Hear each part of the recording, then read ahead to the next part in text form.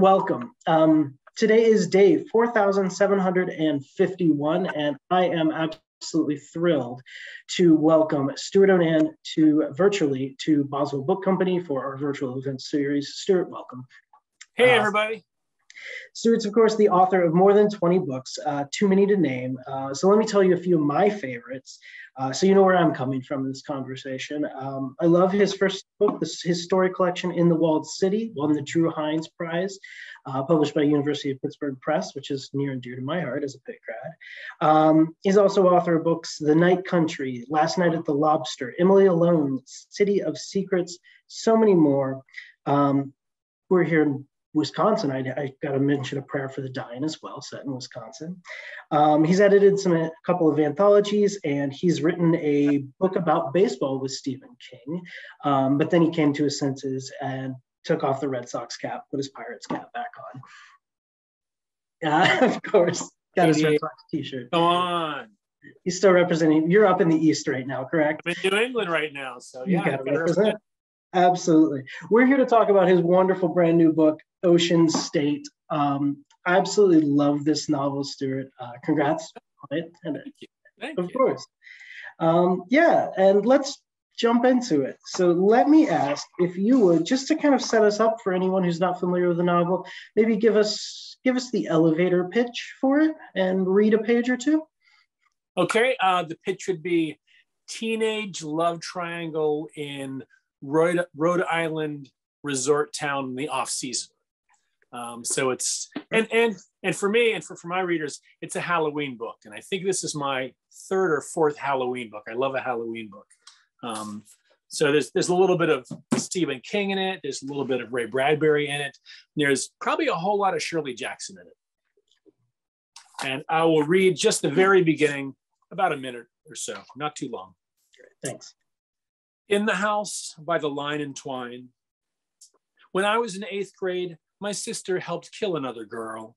She was in love, my mother said, like it was an excuse.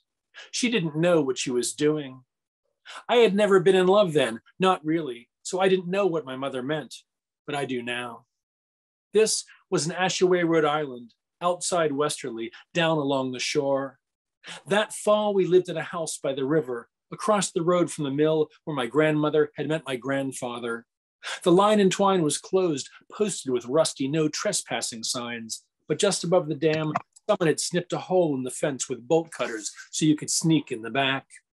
We used to roller skate up and down the aisles between the dusty looms, Angel weaving, teaching me how to do crossovers and go backwards. She could do spins like an ice skater, her hands making shapes in the air. I wanted to do spins and be graceful like her, but I was chubby and a klutz, and when I stood beside her in church, I was invisible. My mother said I shouldn't worry, that in time I'd find my special talent. I was a late bloomer, she said, as if that was supposed to be comforting. What if I didn't have a special talent? I wanted to ask. What if a hopeless nerd was all I'd ever be? Thank you for that. What a great introduction that is. Um, to both of the characters, I think, or two of the characters, I should say. There's a lot of great characters in this book. Um, I always like to know, I, I, I want to talk about a lot of those characters, but I always like to know, and one of the first things I always ask an author, and I think this far into your career, this many wonderful books under your belt, you've got to have a decent idea by now when you've got an idea that's going to work as a book. You know, when you're like, yeah, this one could be a book. Um, this one's got legs. And so I, I'm curious, you know, what, what, was the what was the spark? What was the moment for Ocean State when you knew, like, here's yeah, this idea is this is a novel. Um, well, it, it's based on an actual murder in a, a Connecticut town. It's, it's, a town called New Milford, which is a river town. It's on the Housatonic. Um, and it was the murder of a young girl, 13 year old girl named Marianne Measles. Um, and Marianne had just moved to the town. She came from a broken family, didn't have very much money. And she decided the way to get in with this clique that she wanted to join was to sleep with the boys in the clique. And the girlfriends of the boys did not like this. And they convinced the boys to kill her, basically. Um, and so there were eight uh, young people involved in the murder. And um, it, was, it was horrible, terrible, awful details but the combination of that murder of a 13 year old girl in a small river town, um, I knew that was a pretty big story. Um, I wasn't sure how to get it into a book, but it felt like something that could be a book, all the people involved. Um, and it took me, I think it happened in 1997. So it took me 23 years uh, to really find a way into it. Um, at first, I thought it was going to be about Marianne and her mother um, and her sister. And because I kept trying, who's my point of view character? Where am I narrating this from? You know, whose point of view and when? Um, and it took me until three years ago to decide that it was a sister, but not the sister of the victim, but the sister of one of the killers. And once I realized that that was going to be the main relationship between those two sisters, I started to think really hard about what it means to be a younger sister and to have an older sister who is this role model, who is kind of the golden girl. Um, and, and, what happens when that, that role model does something so horrible. Uh, and I, I kind of fell into thinking about Shirley Jackson's We Have Always Lived in the Castle, which has that basic structure. Merricat, the younger sister, narrates it. Um, and she's kind of squirrely and odd. Um, and the older sister is this role model, although she is suspected of having poisoned other members of the family. And, and the whole small town knows it. So, small New England town, sisters that do this terrible thing, they're kind of outcast. And I thought oh, I can use that framework in a way. And I just had to come up with who that younger sister was. And, and in writing that voice, that Marie voice in the very beginning, I kind of came to it, I think, and, and found my my way into her and discovered who she was. Um, but for a long time, the first line of the book wasn't um, when I was in eighth grade, my sister helped kill another girl. It was that summer we lived in a house by the river. Because I just thought of the two of them and that family within that house being besieged on the outside by this town that hates them. Um, so again, the two of them against the whole world, and, and that dynamic, you know, starts to play out. I think even in the first five or six pages, because it's the two of them against the mother. Yeah, I think it's fascinating how you frame, you know, we're listening to Marie immediately, and she's both looking back on her life, but then she's also comparing herself so much to her sister. Um, I was thinking about that too. I think it's really fascinating how you tell that story, that those sister stories and that um, that back and forth comparison, because you spend a lot of time in the book thinking about a horrible thing that happens, but then where does it leave these people and who gets to leave and who gets to move on from it and who is scarred from it? And I think you come up with some interesting answers to that in the book. Well, and that that seems to me just sort of the outside the container. The organization to mm-hmm. me seems to be what does it feel like to be in love? Um, and, and Marie, I mean, second line, she's like, I, I didn't know what it meant to be in love, but I do now. Yeah. Um, and, and the angel goes through that. Uh, Birdie certainly goes through that. Carol, the mother, kind of goes through that. And what what does love make us do? What is love?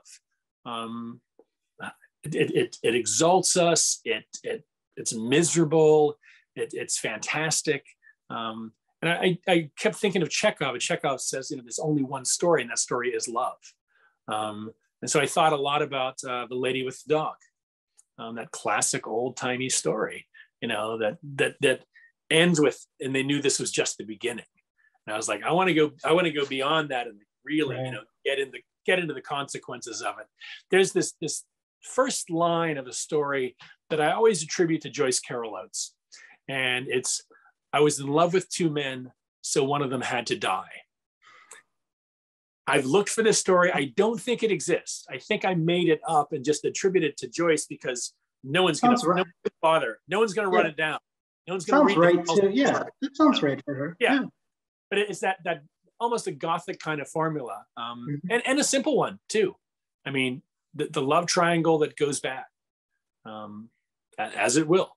So. do, do. Um, yeah. Speaking of going bad, let's talk about Angel some. Um, because I think you do a lot of interesting things with her. First of all, uh, before I I'm really curious. So obviously, Angel's named after Angel Olsen. The book is dedicated. No? no, no, okay, okay. No, that, that, that's just a weird coincidence. Okay. An odd coincidence. I'd already started the book and got it hmm. going, and Angel was my my main character, and I just fell into the music of Angel Olsen as kind of the, the mood of the book mm. and the hmm. background, the soundtrack okay. of the book. Um, okay, yeah, I was curious. No, it, it, it, just happened that way, and, and, it was too late to change it, right? Now, once once you get that character's name correct, you mm-hmm. can't just rip it out of them because it's part of them. And I was like, ah, oh, shit, I I wasn't crazy about that echo, but there it was. Interesting. Um, but Angel. Okay, I was curious because yeah, Angel Olsen. I mean, the, the two epigraphs of the book are pulled from Angel Olsen's songs. I mean, for anyone who doesn't know Angel Olsen, great songwriter. Um, singer songwriter. She's also kind of seems to be the indie rockers go to duet partner for the last 10 years. yeah. Um, but yeah. but yeah, talk about the mood of the songs then and and how that kind of yeah, what did that well, I mean, she, she, she writes so well about um, romantic love gone wrong. Um, and, and, the, and the dangers of romantic love and, the, the miseries and, and ecstasies of romantic love. And I thought it was, it's kind of perfect for, you know, what I'm writing about, which is these these two young women and you know Marie, the younger sister, who is kind of on that cusp of girlhood and young womanhood. She's she's she's she's trying to stay a child in a way.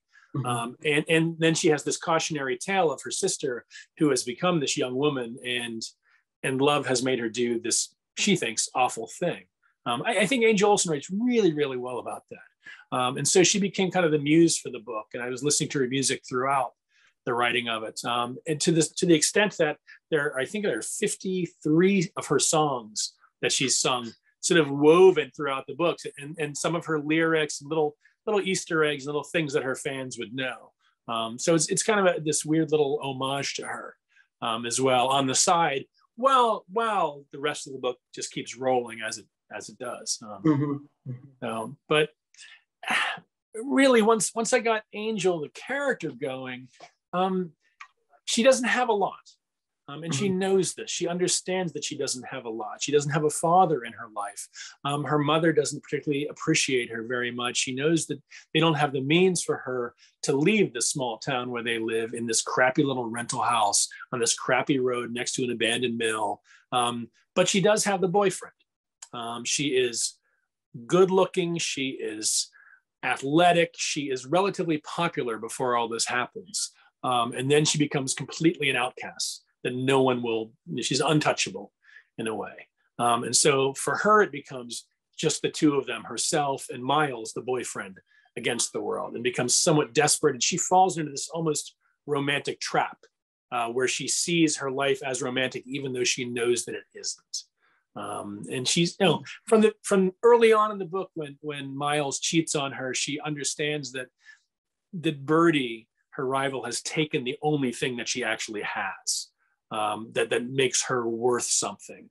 And that idea of your, yourself being worthless because you've lost this romantic love is something I think that Angel Olsen writes about really, really well uh, in the songs. Um, and it's a desperate feeling. And I, I, think Angel throughout the book feels from the moment that she finds out that Miles is not hers anymore and she has to fight to get him back, she feels very desperate. Um, and she she latches on to the, the, the few powers that she has to get him back and make him do her bidding.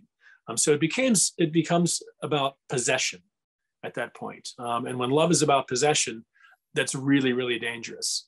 Um, and there, there's only a few ways that can go, and, yeah. and, it, and, it goes and it goes really really badly. But Angel is fighting for basically her sense of who she is and herself, um, and, and it's all she can do and that's an interesting dichotomy, I think, in Angel. Um, that too, uh, she's so love struck and so overpowered by this, and so overpowered by that yearning, that wanting for, you know, the love of Miles, but also the love of what it makes her, the love of who she's she's decided it makes her be, exactly as you're saying.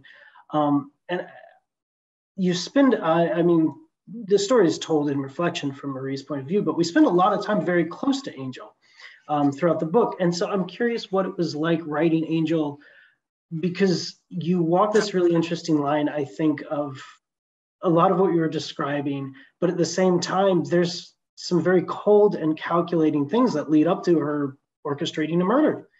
Um, and I mean, we're not giving anything away to say there's a murder in this book, right?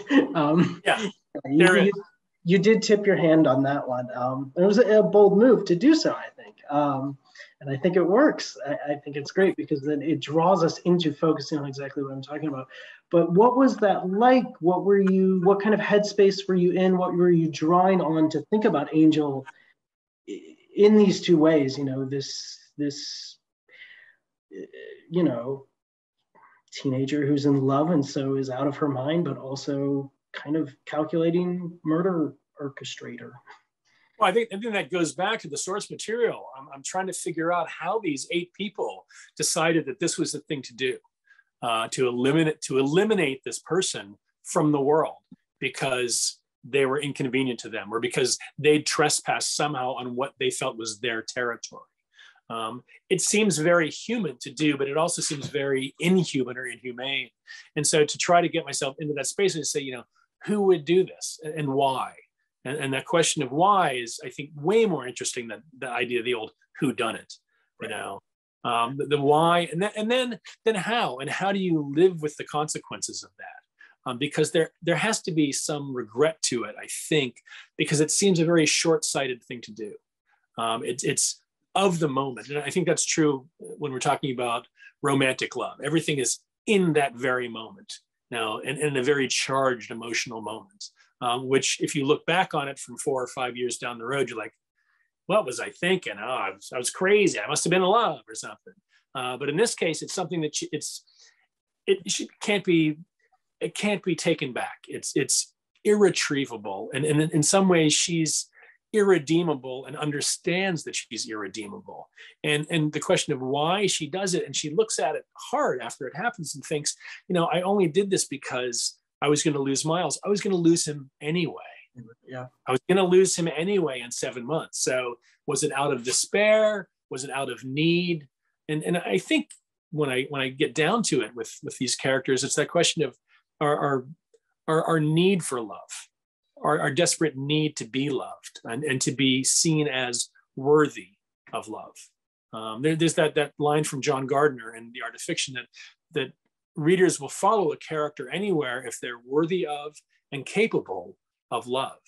Mm. And the question to me for this book, which was the edge, was how does Angel fit into that there? You know, is she worthy of our love after what she's done? It's hard to say. And Marie has to make that call, right? um, yeah. then is she capable of love i think she she ends up having to ask herself those questions after the terrible things have happened but that's where i think i get to go a little further than the usual who done it because the consequences are real life consequences which is what i'm always interested in rather mm-hmm. than you know the slickness of crime fiction or detective fiction or the cozy or something like that. You know this i'm treating it as a real and serious thing that happens to real people and what is the actual outcome of all this? And how do people carry this forward in their lives um, and of course marie is the one who has to end up carrying the story forward in her life. Um, the other people in her family also have to, to, go on. They can't simply quit. I mean that doesn't suddenly go oh the end. Um, you know it's it's life. Life continues on. Um, so, I, so i wanted that in there as well besides sort of the, the slick hook at the beginning and the sort of the, the promise of oh we're going to see a murder. Um, i wanted to get i wanted i guess I'm, I'm using that i guess as bait to get the reader in to actually do something different. Yeah absolutely. Absolutely. But i think i but i, but I think i've done that before so. Maybe. Um yeah speaking of her gonna lose him i think there's there's an acknowledgement early in the book too that she's even says i'm probably gonna lose him you know to some rich girl in college even yeah. before a lot of the stuff gets rolling. So that's yeah, she's thinking about that, and the way you have her thinking about this um, as a means to build desperation, to build everything is pretty powerful. Well, well, well for her, it, it's that lack of means, right? What what other choices? What other choice does she have? William Maxwell says, and I think it's in um, "So Long, See You Tomorrow," uh, a similar book. Um, the reason life is so strange is that people have so little choice and I don't I don't think that that Angel sees that she has any choice whatsoever, and so she's trying to hold on to, to what little that she has. Mm-hmm. Absolutely, I um I think that I swear I didn't send him these questions beforehand, but that rolls really nicely into something else I want to talk about, which is um, I think in this book and like a lot of your work, and it's part of what I love about your work, um, so much of that is based on the idea of class and choice, um, particularly how being working class shapes people's lives. And in your books, your particularly in this one, you know, your characters aren't going around like Birdie's not going around say saying I work at CVS because I'm low class and that's lousy, right? Um. That's not happening. But but still there's this deep understanding that every decision from what house this family can live in um, to even who their mother dates her expectations uh, for her life their expectations for their own lives um, like this kid i know can do this miles can go do this but i have to do this i can only do this. It's so so predicated on class. Um, and how were you focused on that? How are you thinking about that when you're working on this book? Well again source material. Um, Marianne Measles came from a family of, of very little means, uh, kind mm. of um, uprooted in a way, uh, displaced. Um, and, I, and I started thinking about, you know, that, that lack of roots and that lack of continuity, the lack of someone who's there all the time, um, the, the missing father. I think Birdie also has a missing father. He's died as well, even though the mother is, the mother is much more stable in that case. But um, yeah, and also, I mean, I'm, I'm always thinking about that in terms of this, this place along the Rhode Island shore, and also in Connecticut. I mean, Connecticut is, I think, that has the um, highest per capita income in the U.S. You know, mm-hmm. and yet there are parts of Connecticut like uh, Willimantic that for years were known as heroin town. Um, so the the disparity between the haves and have-nots is very, very large there and very obvious there. And so when you when you bring that to the setting of the rundown mill town that's next to a beach. Um, the disparity is very, very great. So I knew that, that I was going to be working with that because I knew it was also going to be a portrait of the place. Um, and, and, the people that, that, the cast was going to be a reflection of the place. Um, that's why we have Miles. His family has all kinds of money and they have a multi-million dollar house directly on the beach um, that he then takes these girls to. And these girls are from, you know, average working class families and they're very impressed by it. They're like, oh my gosh, look at this great view. So he's using that that that money and that class. In in in terms of Miles, I always think of ease. There's an ease of life for Miles, mm-hmm. right? He's he's he's good looking. He's got money. He's got this car. The family has the house. He's going off to college. You know, for him, high school is just kind of a playground. He'll accept this this love and adoration from these two girls, but it doesn't really mean all that much to him because he's gone. He's out of town. Um, so he's kind of this this weird empty playboy figure in a way. Um, not better or worse than the average teenage boy. Um, but in this situation, you can see that he is, as Fitzgerald would say, a careless person. Um, he, he really has no cares in the world. Everything works out for him. So the fact that, that Angel can actually manipulate him to do what she wishes which we find out later, of course, not, not to give everything away, um, yeah. is, is kind of amazing in a way. She's using the power that she has there, mm-hmm. uh, whereas whereas Birdie seems a little bit more powerless. But that, that also that question of of you know work and ease and comfort, and that comes directly from growing up in Pittsburgh, um, and and thinking about who's working, who's working where, are they making good money, um, and, and that worry of of falling out of the middle class um, and, and, and not being able to pay the bills and having to move um, and having to uproot and find something else. Um, and I think that's, that's ruled Carol, the mother, um, for most of her uh, single life. Um, and then it comes out, of course, working in the assisted living uh, facility where she works, and that she's taking care of people that have all the money in the world so they can go to this assisted living shelter. So to be taking care of someone who has to live in this crappy little rental place. So. Right. Right. Um, Just yeah, no, I mean, speaking of class signifiers, I, I was going to ask too. Um, I think one great one that you draw attention to in the book, and actually, um, someone pointed this out to me. Who else? Other blah, someone else who read the book pointed this out um, to me that you draw attention to their cars quite often. Um, and when I thought back on it, I was like, bingo! Uh, but you nailed it. it the book set 2009, um, and I was I was like, you you absolutely know uh, working class Hector's got the Charger, whereas Rich Boy Miles has the the new Eclipse. Um, and that was so it's I don't know spot on for that. Um, but yeah, I mean, uh, why the cars? I, I, there, there's also this great scene where the boys' cars are parked facing each other. Um, I don't know. Were you were you thinking about that, or was that just fun to play with? Um, that's just it's kind of just natural, I guess. I'm a car person, um, um, and you know, having grown up in the, in the, '60s and '70s and all that sort of great Detroit rolling metal. Um, no, it just seemed it seemed fitting that Hector would have something like the Charger, and it seemed fitting for Miles, you know, to have the Eclipse there. Just just I don't know. It seemed to fit their personalities. Mm-hmm. Um, just metaphorically. And that, that scene, of course, you're talking about after the party when, when Birdie thinks that, you know, Miles has totally forgotten her and Miles isn't thinking about her at all. And they go out to, to go to the car, to Hector's car, and she finds Miles's car parked facing it directly head to head, as if challenging him for Birdie there. Um, yeah, and everything is, in, in, when you're in love, everything is a message, everything is a sign you know you're looking for something you know anything a text message you know a word um, you know anything that you share your song you know the places that you go everything is super super charged mm-hmm. and that was really fun to work with with birdie and angel and you know, even even carol and, and marie to a little lesser extent um, but and that that kind of you know mad romantic you know passion um, the characters just just magnetized. Everything just kind of sticks. There. Everything they see, you know, is telling them something. So it's, it's great characters to work with. Yeah, absolutely. I love the um, the obsessions over the one word texts or how long it takes to text throughout the book. That was captured really well. You know, um, or uh, yeah, they're, they're both obsessing over Miles and Sure, and uh, you know the sure text that means the world. I thought, yeah, really well captured. And, and I also wanted to use social media as is that almost mm-hmm. that the third level of the fishbowl that those those two young women are in. They're in the small town where everybody knows everyone else's business. You know, then they're in high school. You know, and then their pictures are you're actually up on Facebook. You know, and and you know the the, the betrayal, the um, the jealousy. It's all there for everybody to see and everybody to then comment on and chime in on.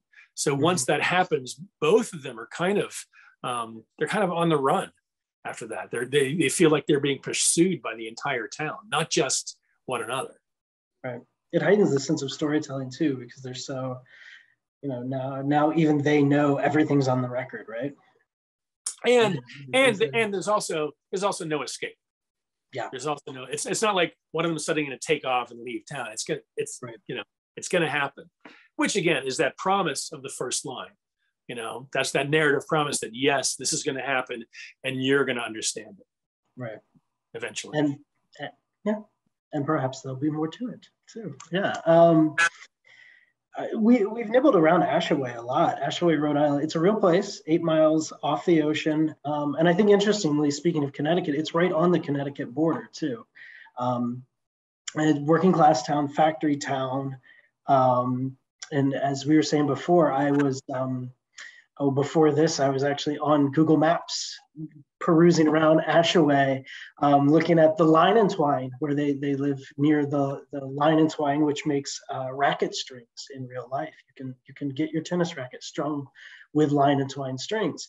Um, and I thought it was very interesting. And it's, it's similar to places all over the United States. I mean, uh, a few miles in from the coast, you have the coastal waterfronts, and you were talking a bit about this, but then these, the working class places where everyone who essentially is the service class to those coastal folks are actually living and playing out their lives. Um, so, especially you, I know you spent a lot of time and spent some years in the Northeast, but you're a pit guy now. So, what, what took you back there? I mean, the setting of the real events, I presume, had quite a bit to do with that. But what what took you back and why Ashaway? Uh, COVID. COVID actually took me back uh, because I, I, began this book. I think it was the last week of March 2020, um, which is the beginning of you know what we call lockdown, which just means you didn't leave the house a whole lot. Um, so I couldn't go out and do location scouting for the Connecticut River Valley. Uh, I was going to move it from New Milford and the Housatonic River over to Essex or Haddam, Connecticut, um, with the Connecticut River, which is a little bit bigger and was, I guess, the um, the, the, the, model for Twain and the Mississippi when, when Twain was there in Hartford. Um, I wanted to move it there and, and, write about a small New England river town, um, which would probably end up being a little bit of a mill town, but also on the Connecticut River with the deep harbors, it would also be a whaling town from the past. So it was going to be harkening back to the New England of the 19th century. Um, but because I couldn't go and actually do my location scouting, you know, run around, drive around and take pictures and go to the Chamber of Commerce and talk with people and, and learn the history of it, I decided I'd set it somewhere that I already know. Uh, so I set it in Ashaway, which was the hometown of my mother-in-law. Oh. Um, and her parents, in fact, lived directly across the street from the line and twine. They met there, they married, they lived next door to it, and they worked there their entire lives. Um, so I already knew that area and the feel of that area. And I knew because I was, besides the the source material, but also that Shirley Jackson weirdness that I wanted to get in and that spookiness, uh, which also meant that I was going to move it from the summer. I began writing the book and it was set in the summer. And I was like, I didn't like that. I'm going to move it over to Halloween because I love Halloween. I feel at home at Halloween.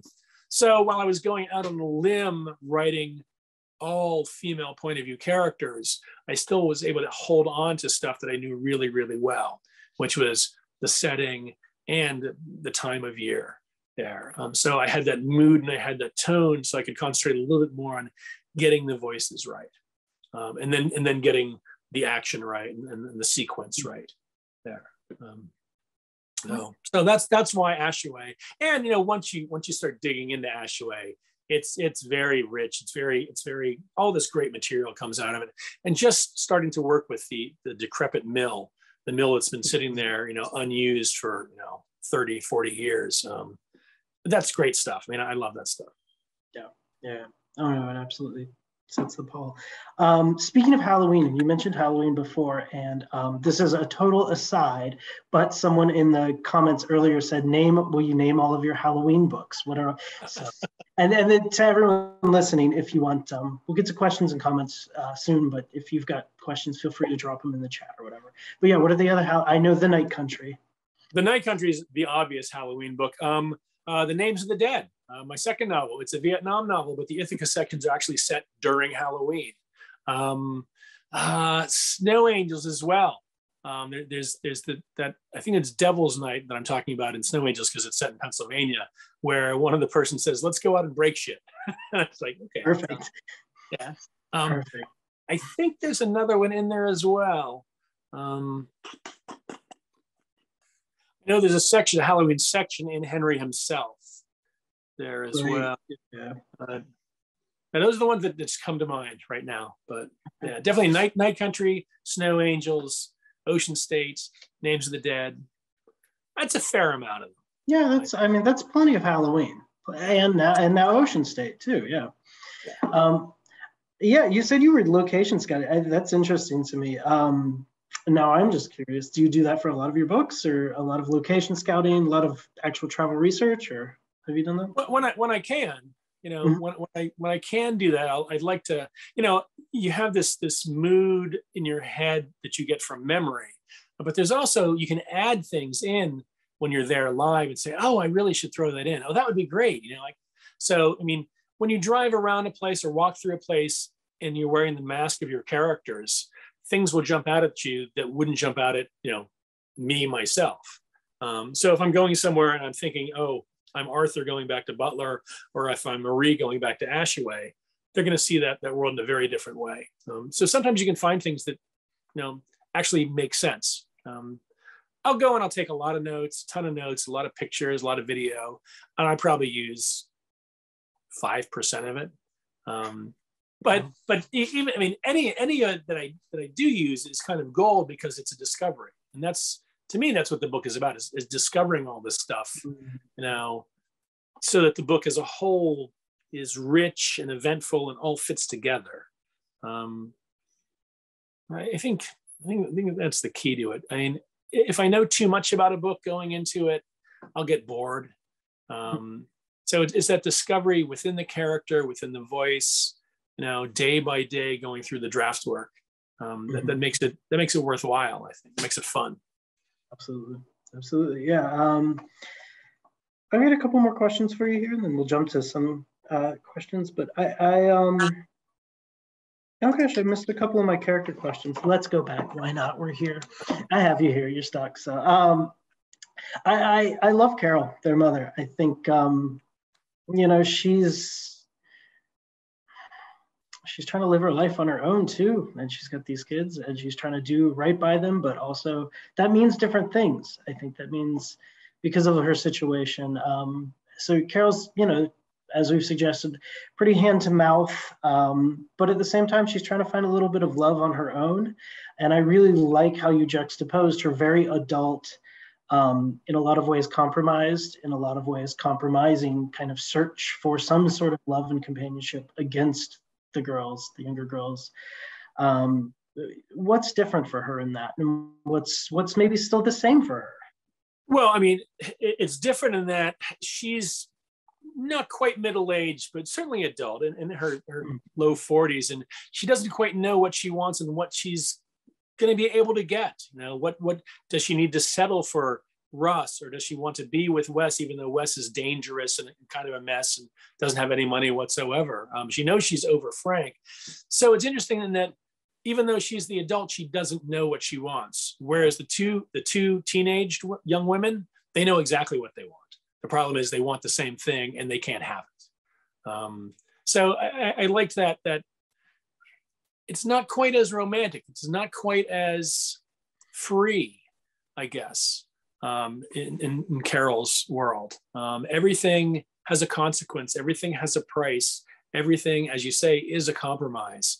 Um, and, and so she misses that, that, that wildness of her younger life, but she knows it's time to put that away but she can't quite break that. So she ends up sleeping with these two men at the same time, um, which in the eyes of her daughters, her prudish daughters, think it's a terrible thing, an awful thing. And she becomes, and, and off to them, in their eyes, a bad role model. Um, and, and, and loses certainly the respect of Marie, um, who, not knowing what love is, judges her without, know, without knowing anything there, which, which is which I think is terribly sad, but it's also what children do um, sometimes. Um, and, and, so all of her shortcomings um, seem seem to bite her in the ass. Um, and, and have for some time. And, and she's not very happy about that, but she knows she has to go forward. She knows what is right is to somehow try to protect Angel, even though she basically understands that Angel is guilty and has done terrible things but she is still her daughter. Um, so her, her adult perspective is so, so different, um, certainly from Marie's, uh, but definitely from Angel's and Birdie's. She's gone beyond all that stuff and would look back on it and say that's, that's ridiculous, silly stuff and dumb. It's dumb. Um, and yet she herself is caught in that, you know, what am I hoping for? And there's that, that, that scene after they go to the casino her and Russ, and they go to Russ's apartment there, and they look out at the stars and the whole, you know, the whole universe. And she she doesn't know what to even hope for. She doesn't even know what to wish for, uh, which is a terrible, terrible thing. Where the younger know their their wishes are so precise, you know, and, and so inflamed and so impassioned. Um, what is it like to be in love? Um, it may be that, that it may be that Carol doesn't know anymore. And I have written here the question. I think we've mostly answered it, but it's, I think you just hit the nail on the head, to me at least, for why this is Marie's story to tell, because that's such a central question for Marie going in, and perhaps that she keeps carrying. What what does it mean to be in love? Um, and yeah, Marie's she, perspective. So, sorry, she, she she doesn't understand that, and she doesn't understand what's happened. You know, she she looking back 10, 12, 14 years later, she still doesn't understand why did this happen precisely the way that it happened. Um, and so, like like many a first person retrospective narrator, she narrates it and she gives it to the reader and says, "I don't know what to make of this. Do you?" Uh, because she feels helpless in front of the events um, and her feelings for certainly her mother and her sister. Um, she mm-hmm. doesn't even know quite what to think about Birdie or Birdie's mother. But she is the one who's trying to put it all together and make sense of it because she did play her own part in it. Um, but she was just too young to understand. Yeah, well, she's one of two, and this was this yeah, she's one of two people trying to put it because you're trying to put it all together and make sense of all these people too. Um, and I'm I'm really curious. Um, I kept asking myself, like, as a writer, just as a person, um, you know, these everyone transgresses in this book. Uh, some people pay some prices. Some people, you know, lose. One person loses her life, um, but everyone's transgressing in some way in this book. And as as I keep reading it, reading it, and again, perhaps it's that Marie perspective. Um, but I'm just really curious. You, as the writer, did you, did you come to a place where you're forgiving them, accepting them? Oh, I, I hope I'm accepting them from the very beginning. Um, that that I think I think all four of them are, are worthy and capable of love. I think I think that's mm-hmm. why I, I kind of chose them. Um, yeah, I, I, probably feel more for them. I, I, would hope than almost any reader ever could, um, having spent so much time with them. Um, and I mean, I mean, I, I've had all those thoughts and all those daydreams that that are that go around every word that's in the book. I mean, so for every like sentence in the book, there's like 20 or 30 other ones that I've at least thought. Um, and yeah, and just just keeping them in mind, and, and, and that question of what do they want, what do they desire, and why. Um, they desire things that we all want. They all want to be loved. They all want to be accepted. Uh, it's, the, the Morrissey line, right? I am human and I need to be loved, um, just like everybody else does. It doesn't happen for everybody, and, and that's very, very hard. Or what happens when the person that's supposed to love you the most in the world uh, rejects you or throws you away? What do you do then? It's a very common thing that we have to deal with. Um, it's very hard. Um, so, so Angel, I, I can forgive her and understand her because, you know, the one person that she thought she could rely on, that she's given everything to, um, basically just throws her affections away um, for for for really nothing, for for sport, in a way. Um, and and Birdie has put her whole heart into Miles, and Miles equivocates and flip flops, and you know makes these promises and doesn't fulfill them, like so many people do. Um, so yeah, I, I, I feel for all of them. I think, um, but maybe especially mostly Marie because she seems to be just from her age and from her, you know, just the way she is, um, the most innocent there, and still I think still retains some of her innocence because she's she's covered up so much. She's held herself so close. Um, maybe because of what's happened. Maybe not just this season, but even what's happened before this with the parents there. Um, it was her and uh, Angel against the world, and now Angel's gone. And and what does she do? So this gets me to the my central question about all of your writing, and it's present in this book. Um, and I, we've already gotten one person who's asked a, a similar question um, in, in the chat here, and uh, it's particularly about the the women characters in your book. But I think all of the characters in all of your books, I, am consistently stunned, just blown away. Um, by how close you're able to get to characters um, and it's not just it's not just the good trick of a telling detail here or there um, it's every time I read a Stewart O'Nan book, I feel like Stewart O'Nan is telling me about people that he lived an entire life with them. He knows their whole life. Um, and so, uh, how do you get this close to your characters? I, I, I guess what I'm asking, what is the magic? What is the secret? Uh, um, how does I, it happen? I mean, why do we read fiction? You know, we, we read fiction because we want to feel what it's like to be this other person um, we always have this question what does it feel like to be you? Um, it's a natural curiosity that we have that in real life really can't be fulfilled. It can't be slaked in a way, but it can be quenched in fiction. Um, and that's why I love to read fiction. I've always loved to read fiction. What does it feel like to be this person undergoing this thing that I may never go through? Who, what is it like to be this person who otherwise I would never probably meet? In my life. This person that comes from a different continent this person that speaks a different language this person who is a different everything for me. That that seems to me the most interesting thing. I think john edgar wideman said that uh, a book is a gift right? Uh, i don't say that you have to read this you know you choose to read this and to enter this other world about, of your own volition and make that leap into the other and find out about their joy and their suffering and and and you know and find out in, in doing so everything about yourself as well um, you may see yourself in other people um, the other the other classic quote is flaubert right madame bovary c'est moi I mean, uh, Fitzgerald said that to understand a character or to write a character, all he needed was an emotion that he could understand and feel himself. And I think that's true. And so I'll start with the emotional basis of a character and say, you know, can I feel what Marie feels? Have I felt what Marie has felt?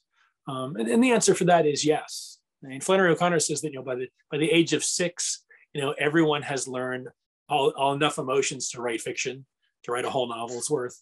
Um, because there's there's acceptance, there's fear, there's you know, there's joy, there's love, there's terror, there's you know, everything. So my my favorite books are ones that I am very close to those characters. So if I'm reading, say, To the Lighthouse and how close um, you know we can get to, you know, Mrs. Ramsay or, or to um, oh God, what's her name? The painter. I've forgotten her name now. Um, crap. Um, to, to want to want and not to have is that, that, that great line from so, so good. Um, just getting close, getting close to, you know, Stephen Dedalus and Leopold Bloom and, you know, uh, shithead or fuckhead and Denis Johnson's Jesus Son. I mean, you're, you're, you're, you're right there with them going through some very, very big, big things. Um, I, I, I tend to go on the more bland or, or boring side, um, like Emily Alone or Henry, but but spending time with the characters. That's what I like to do as a reader. Um, I like those quiet moments with a character. I mean, I warn other writers not to write the one person scene, but you know, I, I, I kept being drawn back to these very, very moments of stillness in the books that I like a lot. Um, and I, I think that's why we come to fiction. I think so. I mean, a lot of other people would say, no, I don't want that. I want to escape from life and I want to do the cozy mystery or I want to do the Gone Girl thing or I want to do this thing where things don't have any consequences and, and it's fun. Um. And that's great. I mean, that's, but it's not really what I want to do. Uh, the question is, what do you think is important enough to put in front of the reader, uh, to show the reader? What do you want to show the reader about the world that they're not getting from everything else, from the Marvel universe? you know, from Breaking Bad, from from all these other things that are done so well, but aren't doing what you think is important. Um, so that's why I'll write a book like Last Night at the Lobster, you know, and my agent will say, "Well, who cares?" And I was like, "Ugh, I don't know." um, well, it's, it's, what can I? It's it's, so, it's so strange because when I when I began writing, I wanted to put more storyline and more plot and more exciting things into American fiction because I felt it was just too flat and too slice of life and too dull. And I, I went from there to to I want to say around 2003. And my mantra was "Dare to be boring," um, because because it had just gotten too tarted up with stuff, just too too too much. Um, and then I just started stopped thinking that way and just said, "Go project by project. I'm not here to prove anything." You know, just get close to the characters, get some mood and direction, and you'll find something. Well, I all of the books you reference, I would certainly hesitate to call boring. Um, I mean, Last Night at the Lobster is one of my go-to gifts for someone who hasn't read it for what for everything. And yeah, um, yeah, I only got a few minutes. I don't want to get. I, I want to get to a few of these questions I see rolling in, but um, to bring it back to this book, uh, Ocean State. I, am curious. Uh, the nickname Ocean State's the nickname for Rhode Island, of course. Um, I also found out when you Google Ocean State, uh, one of the first things that comes up very appropriately for the book is the Ocean State Job Lot uh, chain of uh, discount retail uh, castaway stores. Um, how'd you land on the title? What's it mean to you? I, I kind of had that from the beginning. When, once I once I moved it over to Rhode Island, I just started thinking of it as a kind of an overt metaphor for what it what it feels like to be in love, right? Um, the ocean can be you know calm, it can be wild. It, you know, it's it's you know it's over two thirds of the world, so it, it's a great motive force. Um, and I guess I had a little bit of the, the, the Velvet Underground song "Ocean" in my mind, a little bit. Sort of drony stuff. Um, yeah, it just it just felt right for the the setting, the Ocean State. Plus, I mean, think of all the free advertising I'm getting from those license plates. Man, everyone's just driving around advertising my book here. It's great, you know, all day long. Well, you know, you know the nickname of the job lot. No. Uh, slob lot. It's uh, Ocean State slot. Yeah, yeah. You go in there, it's always dirty. It's always shitty. Everything's cheap and made from China. It's you know, it's oh awful. But yeah, I, but I was thinking about going. I was thinking about going tomorrow, so we'll see. Yeah, that sounds appropriate. You gotta stop then. Um, let me get grab to a few of these questions here from folks. Um, uh, but, but, here's, I'm just going to go with what worked for the conversation. Todd asks, because uh, we were talking about craft a little bit, um, what's something craft sentence level editing you used to think was super important, but have since decided is not, or is perhaps at the very least overrated? Well, just thinking about sentences. Um, the, the, the, unit of, of drama is not the sentence, it's the scene. Uh, it's always going to be the scene. Um, mm-hmm. so I, I, try to move away from making that that line so perfect and beautiful and chiming and everything.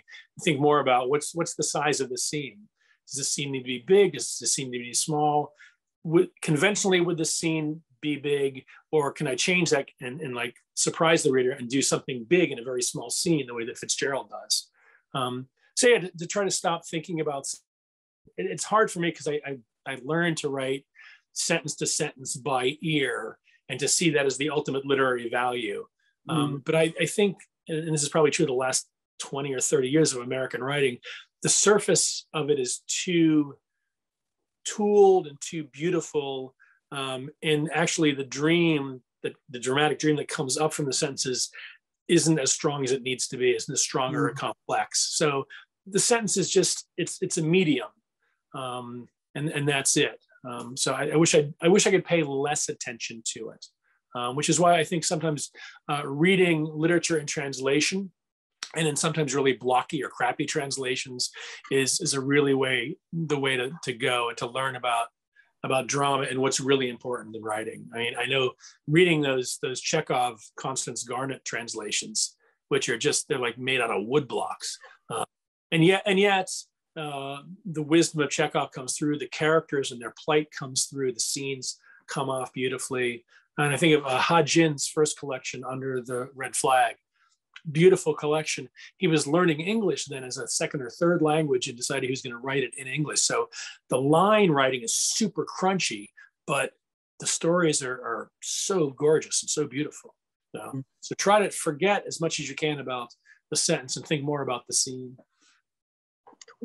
Yeah, um, I'm going to combine a couple questions because um, Jill and Suzanne are both kind of asking, um, what are you working on? Suzanne wants to point out, loves the Circus Fire. So oh, um, are you working on anything new, anything coming up? Suzanne specifically wants to know about nonfiction. Yeah, no, and I know I'm hoping not to write nonfiction. No, nonfiction is too hard. Um, I like just making stuff up. Um, that's that's the joy is you know in, in, fiction if you need something you can just make it up. In nonfiction if you make it up you're in trouble or you should be in trouble. Um, so no no definitely fiction is next. Um, probably another novel I imagine. Um, I, have got a few leads, but eh, like like with this particular book, I mean this thing took me you know 20 plus years just to find my way in. So I've got a lot of things that I'm interested in. The question is, can I find the right narrator? Can I find the right point of view? Can I find the right structure that suddenly energizes it and, and makes it really come alive? So, so that I get that feeling of I'm sort of hot on the trail of these characters living out their lives. Um, yeah, that's, that's kind of where I am. Worst places to be. Uh, um, starting starting is always the hardest thing. Um, there was uh, Conrad uh, Joseph Conrad, uh, Ford Madox Ford lent him the loft in his barn to write in. And Conrad said, I dread climbing those stairs every day.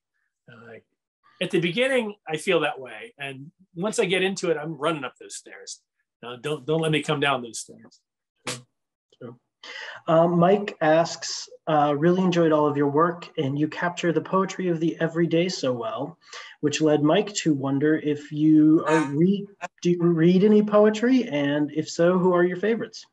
favorite poet? Oh, I, I, I try to read a lot of poetry. Um, um, it depends. I mean, I like I like moderns like Mark Strand, um, Denis Johnson at his very best. Um, uh, go back to you know Plath and Auden and oh Ginsberg, Whitman, just just almost anybody. Uh, but but mostly for when I was when I was thinking about um, the problems that I saw that in, in American fiction back in the, the, late 90s, I was reading Liz Holmes, uh, a poet out of uh, Ithaca, New York.